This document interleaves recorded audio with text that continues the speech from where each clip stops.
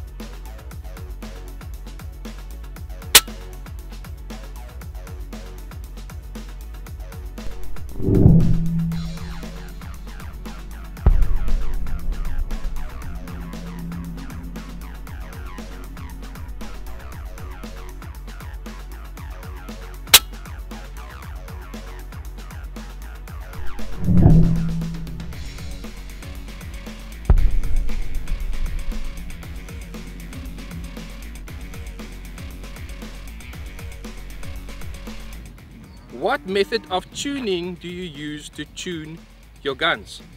Now, if you are referring to air guns, then I will say velocity or speed. What I basically do is I take my pellet or my slug, I will put it inside the gun, and I will shoot different speeds to see where that pellet or slug performs the best. I will also play around with different reg pressures and hammer and valve settings to get the best harmonic note in that setup. And then if we talk about the firearm side of things, obviously load development is the only thing that I do and play around with the setups over there. So hopefully that will answer your question.